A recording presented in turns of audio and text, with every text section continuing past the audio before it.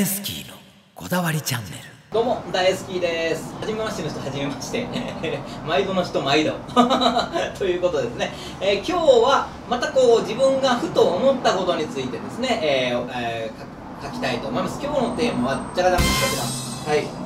自分を選んでもらう度胸。結構強烈なこと言いますよね。ちょっとここら辺あの そう。可愛げ出してみました。はい。結構か弱いんです私。ね度胸やっぱり胸胸という字が書けなくてこの部分だけですね。あのよく動画に登場してもらってます。この辺出てると思いますけど。りょうちゃんに 書いてもらいました。胸ってどう書くんだっけ？ちょっと触らせてとか言ってねそういうやり取りがあったんですけど。人格疑われるわ。さて大きい。はい。どういうことかというとですねあのやっぱりなんだろう。あのよく就職活動とかってありますじゃないですか。一応私ですね就職活動っていうのは実はしたことないんです。ダメじゃんみたいな話なんですけどなんか成り行きというかですね一応はこう責任を負ったことはもちろんあるんですよ。だけどその中でですねあのまああのチェーン店の店長をやったこともありというなんか中でですねあの学生さんがこうアルバイトで働くわけですよ。そういう人たちがまあ就活するときにっていう部分でいろいろ苦労話とか聞くんですけどその時にですねあの、あの一応はこう人生のその当時ですけどもね先輩としてですね俺でもこういうふうに考えてるよみたいな話を。僕ももともと聞いた話なんです先輩から。ということなんです。そういう話をですね、えー、かいつばんで申し上げたいかなという気でおります。ということなんです。まあ話あのあれしてきますとですねまあもともとなんで就活しなかったかというとやっぱり音楽があったからっていうことね。あの大学のあのね卒業間際にこうねあのネパール人のボビンというねあのあの素晴らしいミュージシャンなんですけど彼のローディーみたいなことを最終的にしてたんですけどその時にですねあのお前はいいもの持ってるから音楽やった方がいいとか言われて俺あの言われたことそのまま受け取っちゃうんです。あのだから冗談聞かないちょっと困ったちゃんなんですけどそうか俺俺に俺いいいいもの持ってるんだ。よーし俺音楽しかやんねえぞっていうことになっちゃって。音楽をいやあのそのまんまずっといまだにやっているというね。で今や教えても一応いるというね。えことなんですけども。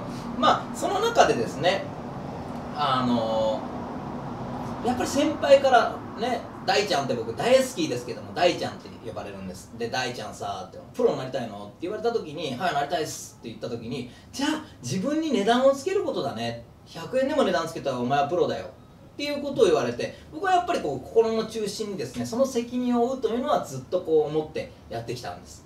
その中でですねあの就活っていうとついついあのなんだろう向こうにいい格好しようとしちゃうじゃないですか。これあの僕みたいなのが言うから参考になるかはさておきですよ。でもそうだなって思うんです。要するにええ格好しようと思って飾って向こうに気に入られよう気になれようとするんですよね。ただあのー、コーヒー業界とかそういうふうな接客業の中でやっぱり責任職やるとやっぱり面接とかもやるやるんですよ。ね。だからそういう時にあの業界の人がその人のなんか立ち振る舞いであったりそういうのをこう見た瞬間に実はその子この業界でやっていけるかなって意外にピンとくるもんなんです。そう。あのそういうことをやったことがある人はああそうそうその通りだよねって思うんですけどもあこの子この世界でやっていけんなとかあこの子いい子だけど向いてねえな。あとは面白いのがこういう人探してるってのがあったりするんですよ。簡単に言うとね。例えば昼ピークが忙しくて昼ピークのこの時間だけ必要だっていう時に夜働きたいんですよ。自分学生っす。すんげえいい子でもその子取れないよね。っていう話。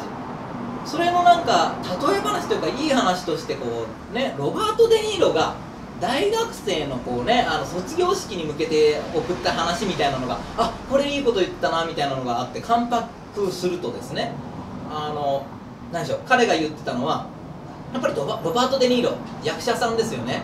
ねその役確かデ・ニーロが言ってた。その役者さんで、まあね、学生さんたちに同じような話将来こう自分を必要としてくれるかみたいな話でいくと、ね、やっぱりなんでオーディションを受けるらしいんですね。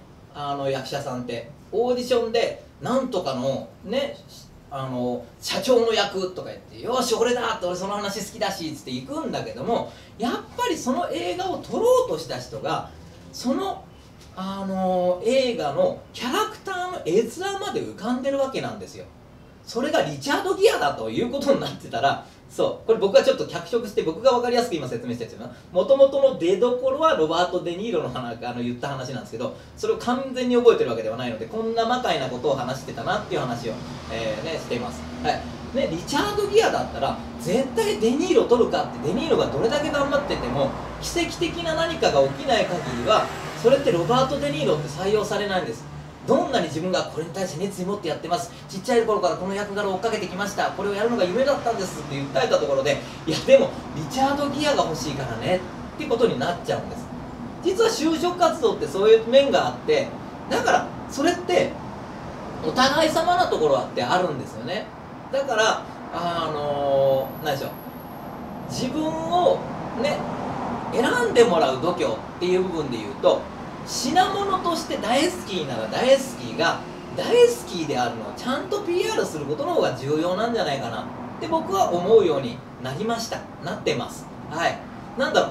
あのこれが欲しいからだから大好きにお願いするって。それってかっこしたるあの責任の部分だしそのその部分ってやっぱり一番素直ですよね。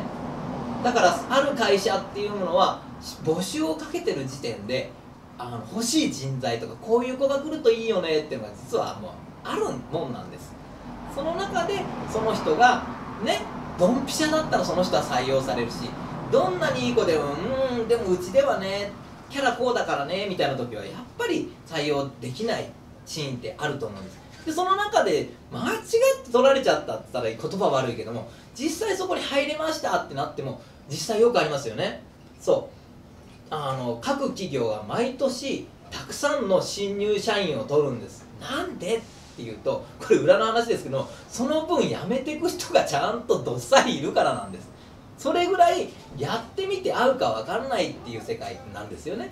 そう。その中でなんだろう。合う人は合う残っていけるし合わない人っていうのは結局合わないからやめてくって中でだからやっぱり自分で素直にその場所を見つけるんだっていうあの気持ちの方が僕はいろんなことクリアにいくんじゃないかな。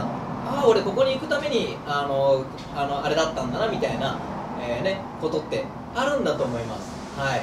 だから僕自身なんかそういうことを考えながらですねあの素直であろうというのを一応は意識しています。もちろんあの頑張らないっていうことではなくですね。